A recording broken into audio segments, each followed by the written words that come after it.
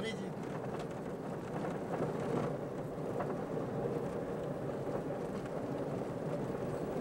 백두산 가는 길.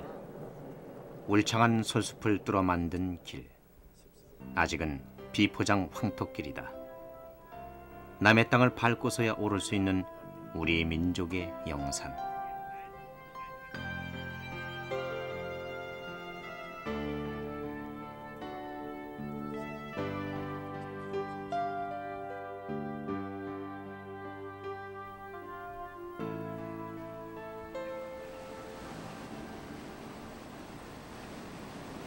남과 북이 나뉘기 전 백두산을 넘은 우리 250만 동포들은 지금 바로 이 장엄한 산을 경계로 국적을 달리하고 있다. 국적이 다른 동포들을 향해 백두산을 넘어가는 우리의 방송. 백두산 정상에서 듣는 우리 소리는 감회가 무척 새롭다.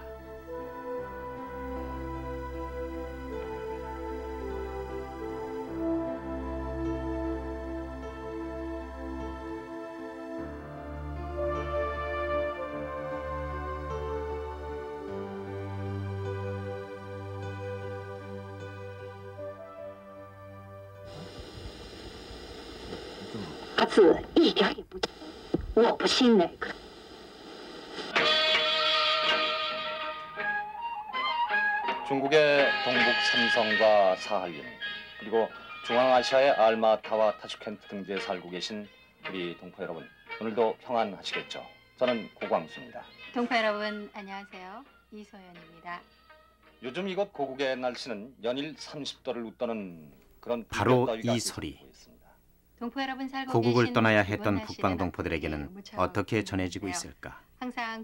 지난 44년간 북방 동포들에게 우리 방송은 무엇이었을까? 특히 중국에서 보내온 소식 중에는 너위 속에서 날씨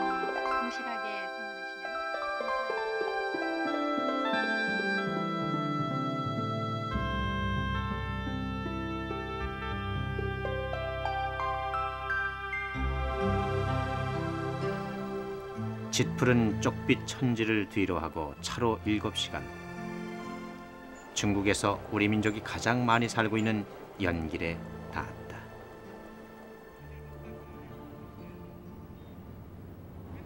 연길은 연변 조선족 자치주의 중심 도시이다. 인구 30만. 우리 한민족이 전체 55%를 차지하는 연길은 십수년 전 우리 남한 어느 중소도시의 표정이다. 사람들의 차림이나 거리 모습은 세월을 거슬러 올라간 우리네 모습 그대로이다.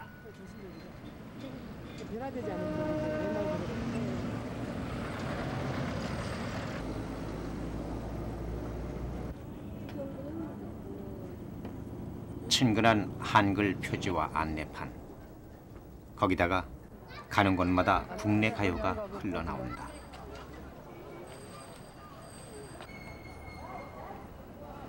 어느새 노상에까지 진출한 가라오케에서 흘러나오는 곡 역시 국내 가요. 가보지도 못한 고국의 서울을 동전 이원이면 마주대하고 노래할 수 있다.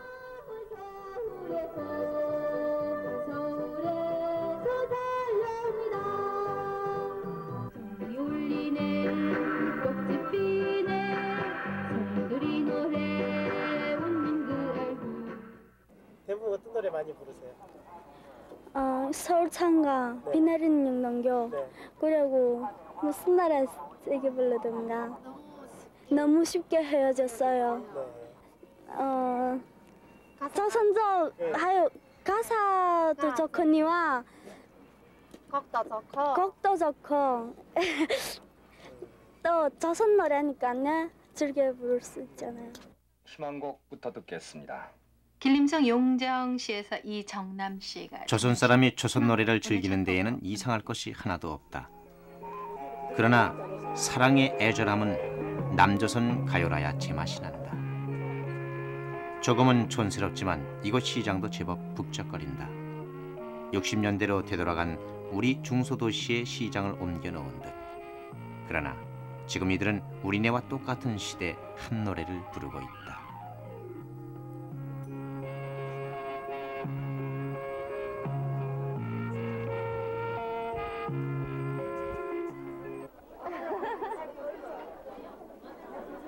가지고 다니세요? 예, 그 네. 좋아합니다. 예. 네. 20년 동안 이 시장에서 포목상을 해온 한 할머니는 라디오에서 들은 국내 가요를 모조리 적어 노래책을 만들어 두고 있었다. 고요한 내 가슴에 나비처럼 날아와서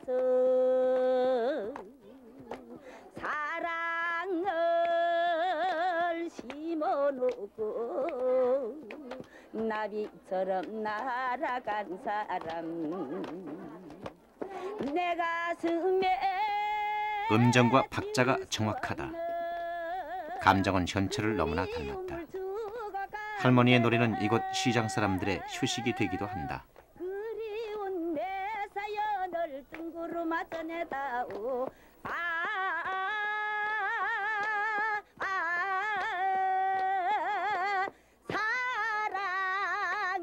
얄미운 나비인가 봐 이럽니다.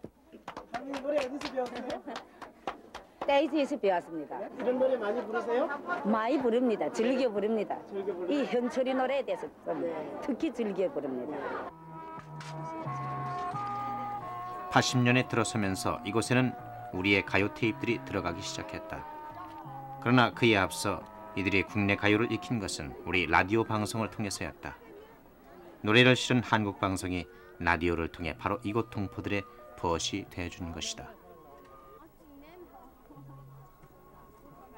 원래 백령설이나 이런 노래를 좋아했는데 다 기억이 나서 잊어, 잊어버려서 모릅니다. 라디오 가끔 듣습니까? 예? KBS 라디오 가끔 듣습니까? 듣습니다. 라디오 없습니다. 이래서 반도체 듣습니다. 네, 반도체 말입니다. 요 간단질로 나오는 거. 예. 근데 그게 지금에 아침에 다섯 시 후면 잘 아이 나옵니다. 때 땐타이가 연비 땐타 시작을 하면 많이 나옵니다. 어느 프로그램을 즐겨 듣습니까? 거기 사회교육 방송국 있지 않습니까? 거기 영토습니다 중국 도시, 저돈에 하바로크 도시, 일본 도시, 또 중국 소식도 나오고 영 좋습니다. 근데 밤이면 그저 뭐 계속 그거 듣는데. 나 네, 밤에 두렵습니다. 지금 아무일이나 계속 듣습니다. 취재팀은 혼자 되어 살아가고 있는 김분희 할머니 댁을 찾았다. 하루 온종일을 라디오와 함께 보내고 있는 할머니. 채널은 아예 우리 방송에 맞춰두고 있다. 중국과 스타를 비롯한 연해주와 중앙아시아에 살고 계시는 250만 동포 여러분 안녕하십니까. 풍요 50년 세월 50년의 맹관영입니다. 남조선의 그 예, 노인들 노인 대학이라든지 예, 나와서 또그 맹간이라는 그이가 나와서 이래 조차하면서 예? 그래 요 재밌게 듣곤 하지요 뭐. 에, 예, 새벽 세시쯤에 그렇게 하는데 정말 그남자선 노인들은 예, 영 좋게 지내는 그런 거 늘 듣느라고 새벽 세시면 잠 안 와서 그래 나와서 이제 그건 들어놓아가지고 그냥 듣고 그러지요. 노는 제목이 뭐인가 하면 예, 북류 50년, 세월 50년 이걸 갖다 늦게 듣습니다. 어째 늦게 듣는가? 세월 50년이라는 건 허수하게 잘 못 지나가고 예? 이 북류 50년이라는 건 지금에 와서 이렇게 좋게 지낸다는 거예 그렇게 생각하면서 이제 거기 노인들도 그렇고 여기 노인들도 그렇구나 하는 거 이렇게 생각하면 듣죠 뭐. 어째 통일열차를 재밌게 듣나 하면 남조선과 북조선에 이렇게 갈라져 있는 그 이산 가족 그런 것 때문에 이제 통일열차에 대한 거에 그 통일열차 누군가 우리가 탔다는 거에 그런 거 늘 듣고선 이제 감격하죠 뭐. 여러분 안녕하십니까 김종백입니다. 그 통일 열차를 함께 탄 고국의 사람들 매일매일의 소식과 세월 속에 잊혀져가는 풍류를 할머니는 단 하나도 놓칠 수가 없다. 바로 그 속에서 할머니는 어디에 살든 우리 동포는 하나라는 사실을 확인할 수 있기 때문이다. 방송 뭐 그, 그, 연속 방송 같은 건 이제 안중근의 역사를 얘기하는 것도요. 그것도 깊이 이렇게 듣고요. 또 그 김구 선생님의 그또 이제 연속으로 그렇게 오랫동안 하지 않았습니까? 그것도 이제 그 훌륭한 분들의 그현 역사를 하나하나 기억은 못하지만 재밌게 들었습니다. 그렇기도 하고 또 그 남조선에선 말입니다. 그저 뭐이나 다 인도주의고 뭐이고 이렇게 그 조선 동포를 위해서 하는 이런 일이 많기 때문에 우리도 같은 조선 사람이니까요. 아 이렇다 하는 거 이런 늦게 가면 듣는 일이 많지요 뭐. 그 책자를 그렇게 보내주거나 뭐 이 모든 일에 정말 좋은 일 많습니다. 이 남조선 방송 을듣고이저 이산 가족들이 만나고 이런 게 얼마나 많습니까? 처음부터는 시초가 그렇게 그 방송 듣고 되기 시작했죠 뭐 일가 찾고 뭐다 그렇게 됐지. 그리고 우리 아는 사람들의 그런 저 그, 이제 방송도 들어 듣기도 하고. 거국의 방송에는 우리 역사가 살아있다. 할머니는 안중근 의사의 올바른 기록이 마음에 든다고 했다. 세계와 도산 안창호 책자를 보내드렸습니다. 역시 참진식 박춘숙 씨에게 인기 가요와 가요 카세트, 장성환 씨에게는 90년대 세계와 도산 안창호 책자를 보내드렸습니다. 매일 97시간 40분씩 모두 12개 채널을 통해 방송되고 있는 KBS 사회교육 방송 지난 44년간 북방의 300만 동포들에게는 그리운 소리, 희망의 소리, 네. 정다운 소리가 되어다 우리의 방송은 오고 가기가 힘든 동포들에게 우리 민족을 하나로 묶어주는 든든한 끈이 되어주고 있다. 이들에게 진정한 조국을 확인시켜주고 있는 것이다. 네. 사회교육 방송은 뭐 다양하게 방송되고 있다. 온갖 생활 정보와 나라 안팎의 소식, 우리 민속과 문화를 실어 동포들과 만나면서 한피 줄이면서도 멀리 떨어져 있어야 하는 안타까운 마음들을 하나로 이어주고 있다. 그리움과 희망을 연결하는 고리인 것이다. 현지 사연을 소개를 해드리겠습니다. 다시 여러분의 희망곡 준비했습니다. 흥룡강성 임구현에서 김정용 씨가 참여 신곡 함께 듣겠습니다. 김세나의 노래입니다. 아리랑. 네, 이렇게 더욱 가까워진 동포 여러분과의 거리처럼 저희 보고 싶은 연길에서 다시 차로 5시간 안도현의 한 네, 작은 시골 마을에 보다 네, 이렇게 가구, 260여 명의 우리 동포가 한 동네를 이루고 사는 신툰촌이다.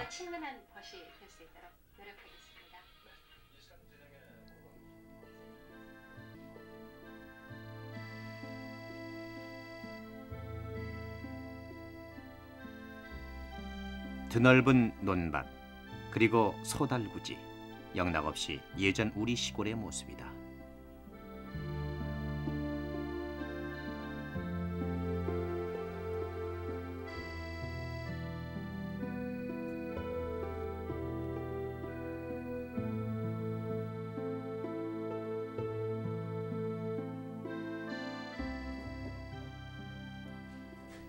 이 산골 오지에 손님을 정성껏 대하는 우리 전통이 그대로 살아있다. 굵은 더덕을 삶고 고사리를 데친다. 오랜만에 태하는 장작불 위에는 긴 세월 소중히 다뤄온 가마솥이 끓는다. 손님이 오면 반드시 밥을 먹여 보내야 하는 우리네 인심이 이곳에 온전하게 살아있는 것이다. 한 마을에서 같이 다 결혼을 했습니다. 다 결혼 한 마을에서 같이 결혼했지. 우리 큰 며느리도 여기 있고 또 두째 며느리도 여기 있고 다 여기 있습니다. 그러니까 중국인들하고는 결혼을 안 하고. 예. 아, 네. 아, 네. 한민족끼리 결혼. 네, 또 말하겠습니다. 예. 네. 우리 큰 사돈이 왔는데. 여 여분이 우리 큰 사돈 밖에 사돈입니다. 여분이. 여분. 여분이라 이분 이에요 이분 우리 셋째. 사던 바꿔 사던 우리 몇째 사던 오빠 맨사는 거야 몇째 사돈이 안 왔어 우리 두째 사돈 한 고향에서 왔고 예한 고향에서 한 날 한 시 차에 이 마을에 와서 다 같이 커서 예 그렇게 부모네들도 정말 한 형제가 안 걷고 그래 아들 딸들도 예 그렇게 결혼을 하면 우리 형 좋습니다 이 다음에 남조선 혹시 갈일 있어도 예다 같이 가면 얼마 나 좋습니까 만주 사변이 끝난 해 1938년 일제가 하는 말에 순진하게 속아 이곳에 정착한 동포들. 이들은 한날 한시 경남 합천과 밀양을 떠났다. 그러나 이들을 기다리고 있었던 것은 척박한 땅에 박혀 있는 말뚝 하나뿐이었다. 하지만 이들은 고향을 잊지 않았다. 잊을 수가 없었다. 그 이들의 흥겨운 어깨춤 속에 고향은 그대로 살아 숨쉬고 있는 것이다. 언제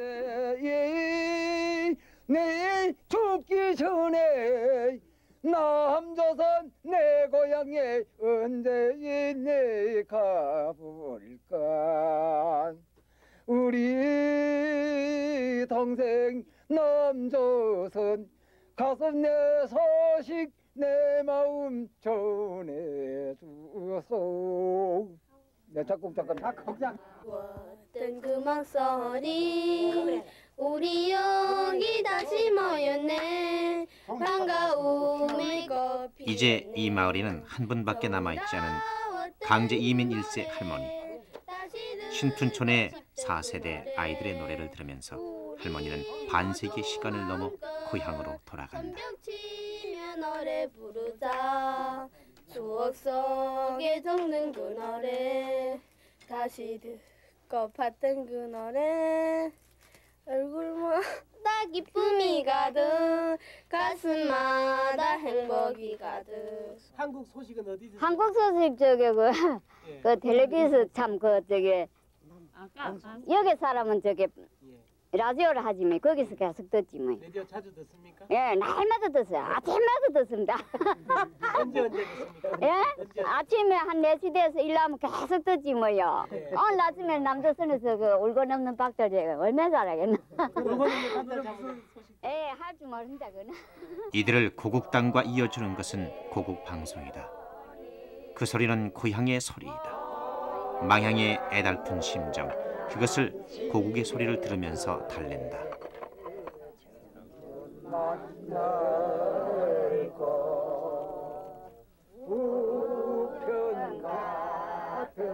세월이 흐르면 흐를수록 노을처럼 번져가는 그리운 고향. 향수는 깊어만 갈 뿐이다.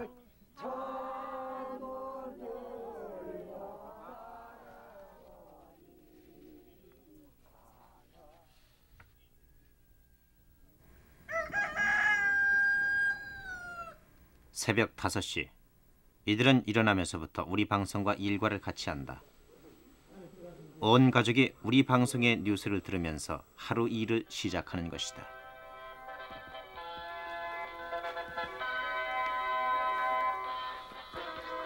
우리나라 최초의 국적 위성인 우리별 1호가 오늘 아침 8시 8분 남미 프랑스 이들이 하는 일은 농산일.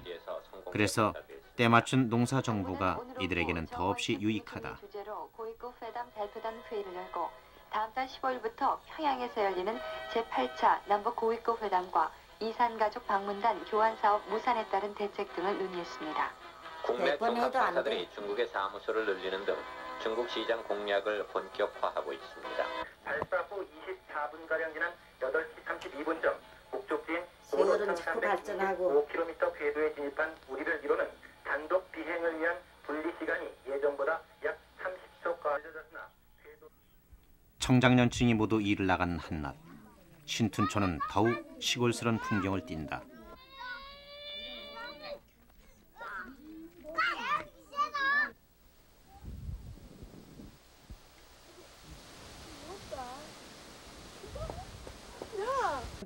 한국 소식을 어떻게 그 알고 지냈습니까?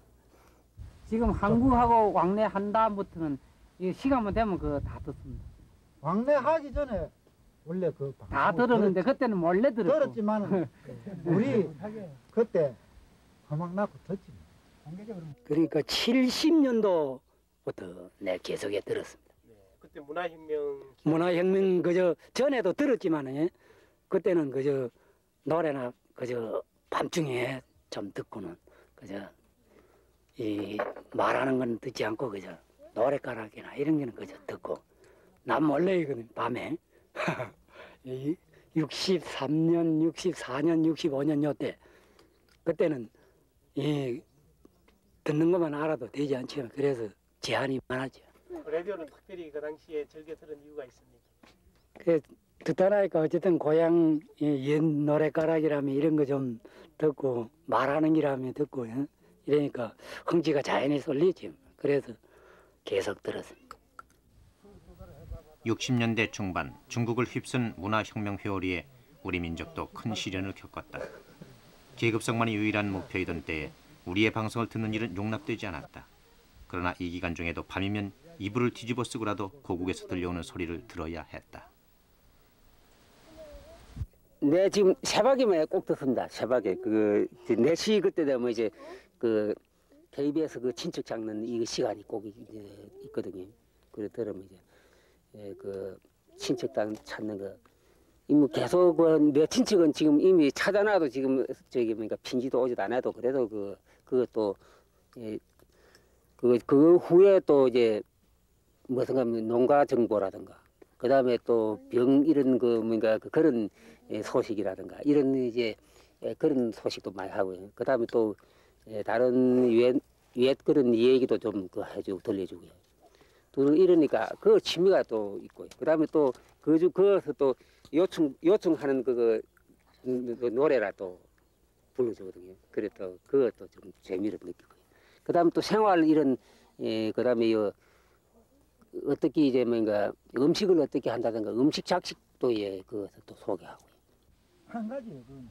여기서 방송을 들 수많은 사연을 싣고 동포를 찾아가는 우리 방송. 방송은 이곳의 할아버지에게 선산을 찾아준 고마운 소리이기도 하다. 방송을 들으니까 아, 참 한국에 편지도 할 수 있고 이렇다. 그래 나는 처음에 편지를 한번 했습니다. 그래 조선에 누기가 있나 하게 되면은 그저 삼촌 서 있다는 건 내가 알았지. 이래 편지를 떡할 적에 편지에다가 봉도에다가 이 편지가 내가 생각한 게 맞는가 안 맞는가 이래서 내가 일곱 살에 들어왔거든. 그러니까 이 편지 주소가 맞는가 안 맞는가 해서 그때 참 편지 주소를 쓰고 우리 삼촌 이름을 둘을 그 피봉에다 썼지. 이래 써서 보냈더만 아, 한 달 만에 답이 또 왔지. 아, 한 달 만에 답을 또 보니까 이 정말인가 참 아, 싶어요. 그래 내가 그 편지를 하고 또 삼촌이 한 분이 계시다 나니까 이래서 초청하기 때문에 내가 갔댔습니다. 만내가 척 아등고 서로 그렇지. 잔아버지니까 상준이가 잔아버지는 그래지. 그래 또 고향에 가보니까 그 이튿날부터 산소에 한 이틀 댕기는데 눈물밖에 안 납니다. 와 이러는가. 그래 행님은 와그리 아, 섭섭해 생각하는가?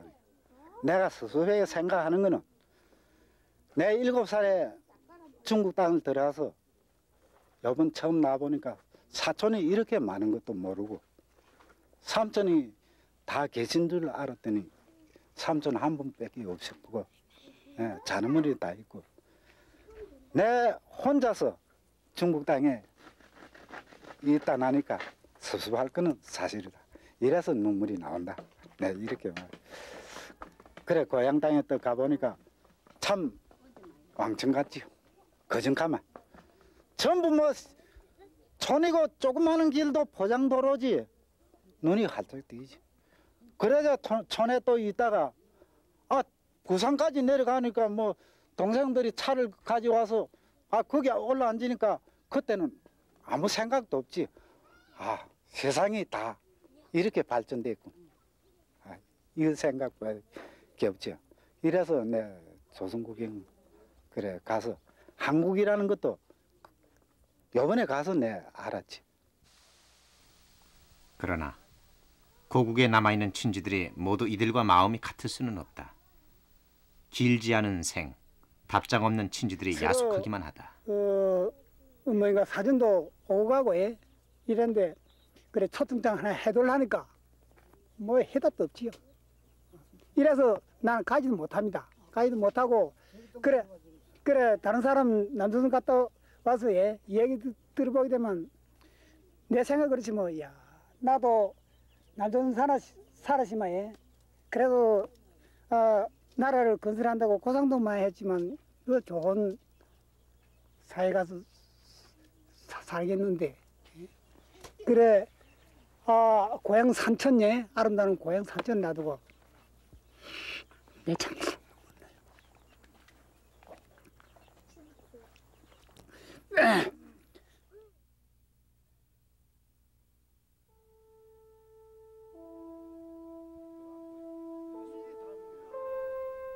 오년 전, 보찜 꾸러미에 부모 손을 잡고 고향을 떠났던 이세대들 이제 그들은 모두 환갑을 넘겼다.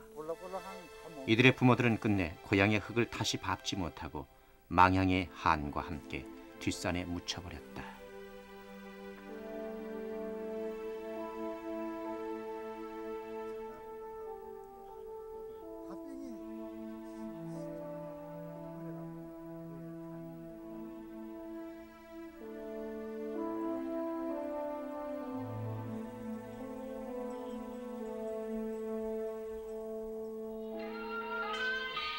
이산가족 찾기 운동이 시작된 이래 중국과 구소련 각지에서 보내온 편지는 모두 16만 통이 넘는다. 고향을 떠나 이산가족이 된 아픔과 재회를 그리는 간절한 소망을 담은 기록들이다. 가족을 찾고 통일을 염원하는 사연들 중에는 행여 친지의 연락을 놓칠세라 출장 중에도 방송 수신을 빼놓지 않는다는 간절함도 있다.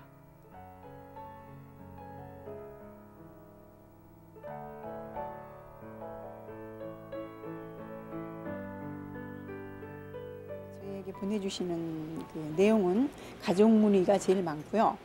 어, 그 다음에 그분들이 중국에서 생활하시면서 저희 한국에 대해서 좀 더 알고 싶어 하는 그런 책자라든가 물품에 대해서 어, 노래, 특히 노래라든가 하는 거에 대해서 굉장히 관심을 갖고 보내달라는 요청이 많이 오고 있거든요.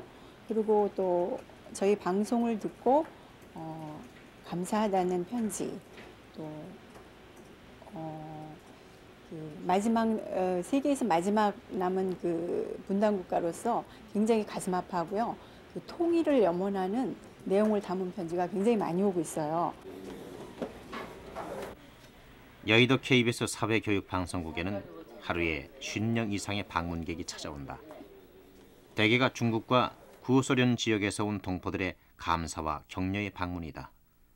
그리고 방문객 중에는 아직도 가족 친지를 찾지 못한 국내 방문객도 간간히 있다. 예. 중국에서는 저희 사이버 방송을 많이 듣고 있거든요. 아. 관심을 굉장히 많이 갖고 있어요. 예. 그러니까 어, 할머니 사연 듣고 예. 거기서 들으시면 저희 방송으로 연락이 오거든요. 예. 그러면 저희가 연락을 해드릴게요. 16만 예. 통의 편지 중에 2만여 통 이상은 주인을 찾았다. 그러나 나머지 14만 통은 전산화해서 어떠한 문의에도 즉시 관련 기록을 찾을 수 있도록 해놓았다.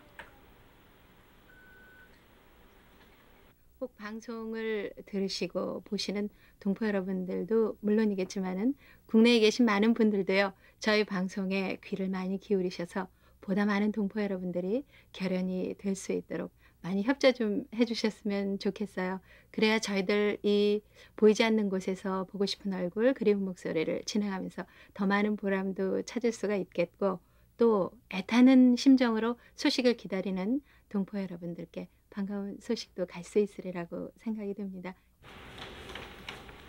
사회교육 방송국에는 이산 가족을 찾는 일 외에도 북방 동포들을 위해 하는 일이 많다.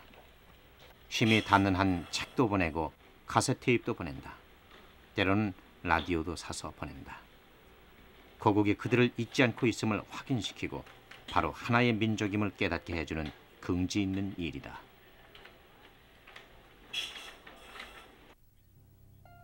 하르빈시 안정근 의사가 거사를 일으킨 지역이다. 이 산의 아픔과 상봉을 염원하는 사연은 때로는 생생한 영상에 되어 돌아오기도 한다. KBS 사회교육 방송을 통해 자매임을 확인한 하르빈의 최혜숙 할머니는 서울에 있는 언니 최옥숙 할머니를 영상으로 만났다. 서울을 방문하는 동포에게 언니의 모습을 부탁했던 것이다. 나는 볼 수가 없구나. 언제나 만날 건가 알 수가 없다. 아버지는 61년도에 돌아가셨다는데 어떻게 돌아가셨는지 돌아가셨다는 얘기는 들어도 나는 어떻게 돌아가신 것도 모르겠고 엄마는 또 그 이듬해 돌아가셨다니까 어떻게 돌아가셨는지 그런 것도 다 궁금하다. 그 언니들도 다 어디가 있는지 알 수도 없고 다른 데는 조선에 있다니까.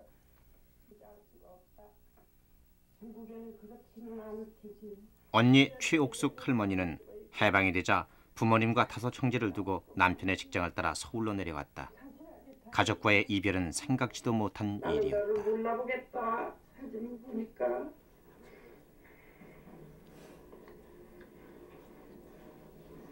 어제 내가 너무 동안 쉬었어 미안해.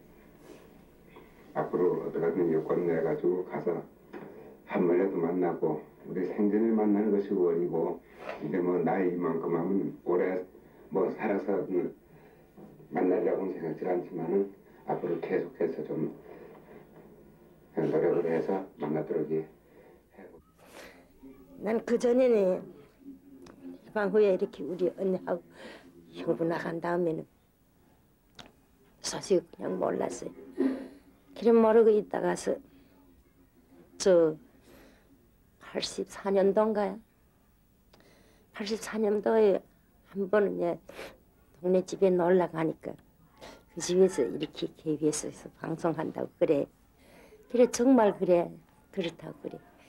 그저 그전엔 또이 남조선 방송 중국에서 못들었어못 듣게 하니 못 들고 있다. 그 들어도 일 없는 거 하니까 그지 아바이 그래. 에이 요젠 다 살았는데 죽이겠음 죽이고 살고겠음 살고 그러지 무슨 그러면 들른다고 그래 그 야바에도 자기네 친척이랑 방송하더라고 그래 자기도 가겠다 그래 그래 나도 그럼 해볼까 하고서 그래 84년도부터 내 KBS 방송국에다 편지해야지 찾아달라고 사회교육 방송에서 이산 가족을 찾아준다는 사실을 알고 편지와 함께 보냈던 언니의 약혼 사진. 형제임을 확인케 해준 결정적인 사진이다.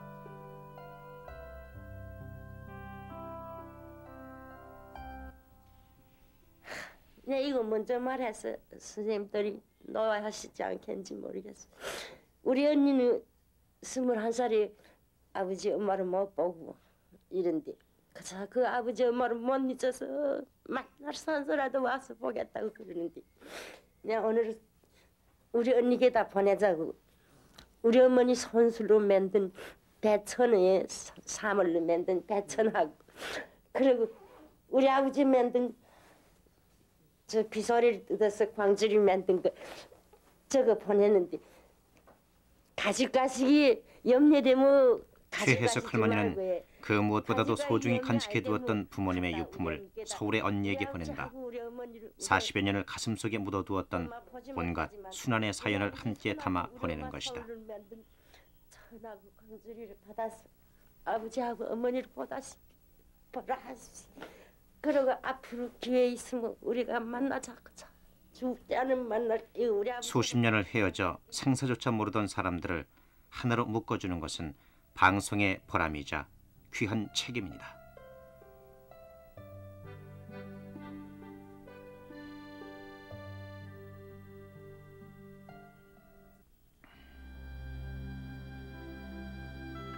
구수련 땅 연해주 우리 동포들은 저 밑에 송화강을 따라 아무르강까지 북으로 삶의 터전을 찾아 올라갔다. 우리들과는 눈빛도 머리칼도 다른 더 낯선 땅이다. 이곳 하바르프스크 지역에도 만여 명의 동포가 살고 있다.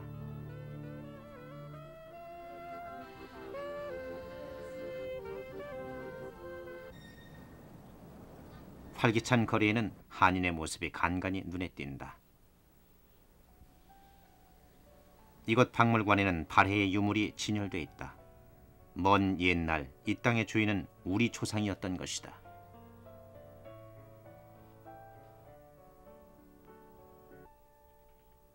이곳 동포 중에는 한때 북쪽에서 방송을 했던 남봉식 씨도 있다. 지금은 평범하게 노년을 보내고 있지만 우리 방송에 남다른 관심과 애정을 가지고 있다. 즉 북미 자유무역 협정을 통해서 경제적인 고민을 해결할 수 있으리라는 기대를 갖고 있고 특히 한국이 멕시코를 전진기지화할 것이라는 사실에도 깊은 관심을 보이고 있습니다. 남한 방송을 듣는데 왜 남한 방송을 그렇게 듣는가 말이에요. 아, 최근에 와서 아, 아다시피 남한이 아, 단기간 내에 그런 아, 그 일본 그 기반하에 있던 그런 나라가 아, 아주 음, 현대적인 그 자본국가 수준 그 열한 국가의 한나를 들어갔단 말이에요. 그런 여기에 관심이 높죠. 어떻게 돼서 어, 단기간 내에 이런 발전을 가졌는가. 그런 하여간 이런 기쁨을 가지고서 어, 결애들이 아, 기쁨을 가지고서 그 듣습니다. 구소련 지역 한인들의 삶은 중국 내 우리 민족의 모습과는 사뭇 다르다. 여러 지역에 흩어져 사는 데다 중국의 소수민족 우대 정책 같은 것도 없기 때문이다. 이곳에 우리 동포들은 우리 말을 잃어가고 있다.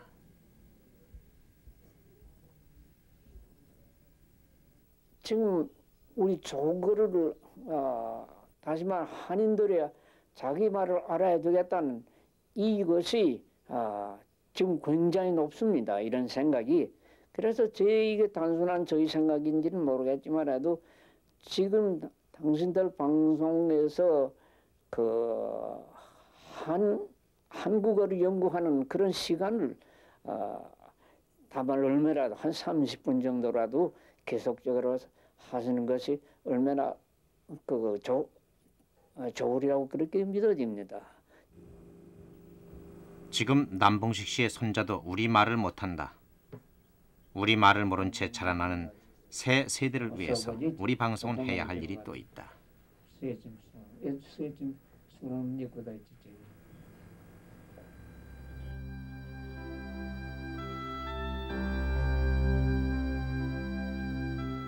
지난 42년 13만의 동포가 강제로 집단 이주해 간 곳 사할린.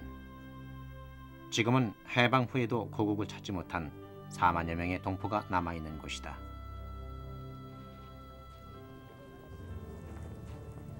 우리 동포들은 주로 채소나 꽃을 재배해서 시장에 내다 판다. 부지런해야 하는 일은 이곳에서도 단연 한인들의 몫이다. 그래서 이젠 슬라브인들도 매운 김치 맛에 익숙해져 있다. 이제 매트 하나 둘 먹어보고 이제 맛을 알고 사가지. 네. 한치의 땅도 놀리지 않는 부지런함으로 꽃은 이제 우리 동포들의 상징이 됐다. 꽃은 이 동포 할머니가 팔남매를 키워낸 미천이기도 하다. 뭐 식소리 많이 놓은 게 아이들 뭐두큰 땅에도 가 있지요. 그런게 아들 딸이 팔남매지요. 그런 게 그거 다 선출식이고 뭐 한게 이제는 뭐 나이 70 너인데 나는 안주 한국에 못 갔습니다. 예, 비행기로 가야 되겠는데 이거 뭐 예, 무용고자라도 가야 되겠는데 이놈 거 뭐 써놨는데 안 보내주네요. 아까 야 언니 어떻게 됐는가. 예, 한번 참. 자기 살던 고향이라도 참댕기왔으면 싶은데 에휴, 언제 가게 될라는가 모르겠습니다. 예. 한국 소식을 어떻게 접하세요? 뭐 안주 제 저기 할아버지 계시니까 주인 양반 계신 게 라디오 듣고 그래 다 듣, 듣지요. 라디오 듣고는 그날 그날 뭐 뉴스는 듣, 듣, 방송은 듣습니다. 매일 듣습니까? 매일 듣습니다. 네. 자기 몸이 대간하면 음, 그날은 못 들으시지만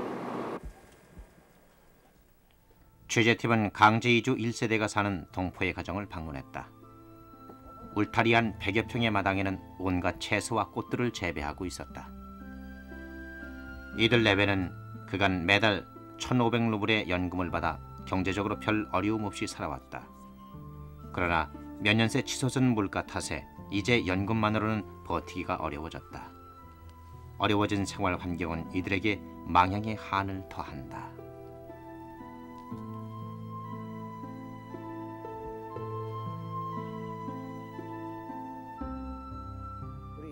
사다가 이제 중간에 참 조금 힘팩이잘 살았습니다. 조금 사다가 또 새로 이 옷에 또 이렇게 바쁜 생활이 났어요.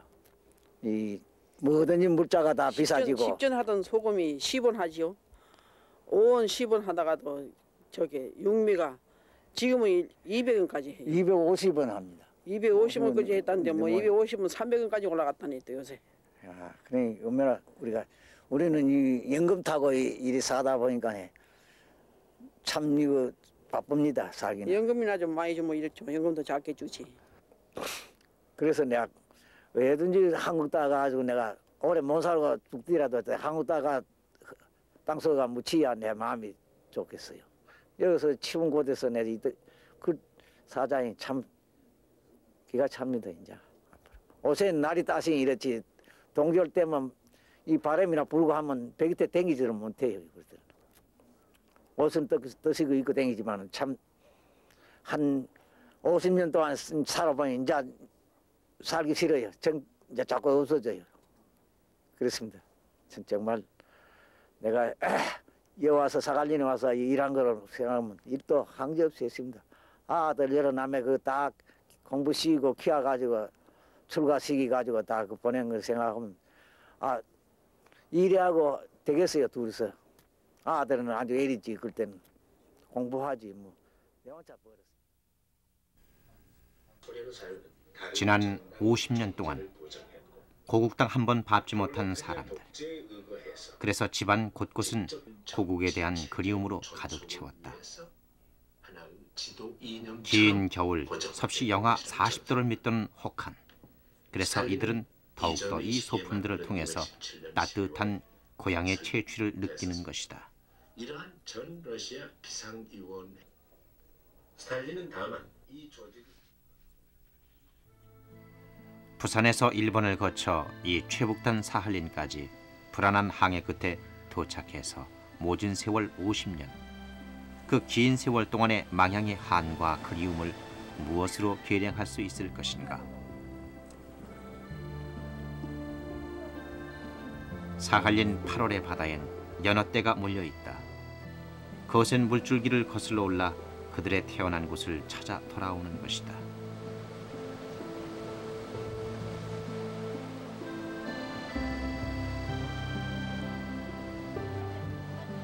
자신의 태어난 곳을 찾는 것은 사람이라고 해서 다를 바 없다. 그것은 본능이기 때문이다.